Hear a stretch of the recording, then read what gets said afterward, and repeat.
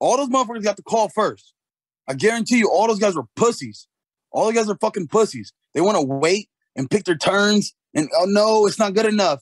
No, I need more time. No, I want to only fight somebody ahead of me, but then I want it to be the right camp and I want it to be all the right situations. Like those, all those guys play this like uh this weird game. I feel like they hold their cards in and they wait for the right time to ah pull out my ace. Like no, sometimes you got to jump on it, you know, and you just got to take it where, the way it is. And I, I'm jumping all over all you guys because why? You're too pussy to take opportunity. I feel like it's just been like a match.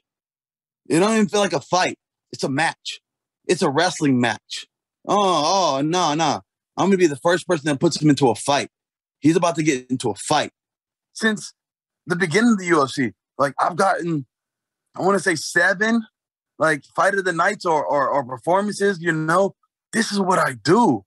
I'm an entertainer. I bring that I bring that energy every time, every time. But I want to show people I'm not crazy. I'm fucking nuts. Okay, I'm fucking nuts. I'll show all you pussy motherfuckers, this is how I'm gonna do this shit. Okay? Let me show you some real G shit. Get in there and do this shit with the highest guy in our fucking division. I'm gonna walk in there like a gangster and punch that guy right in his fucking face.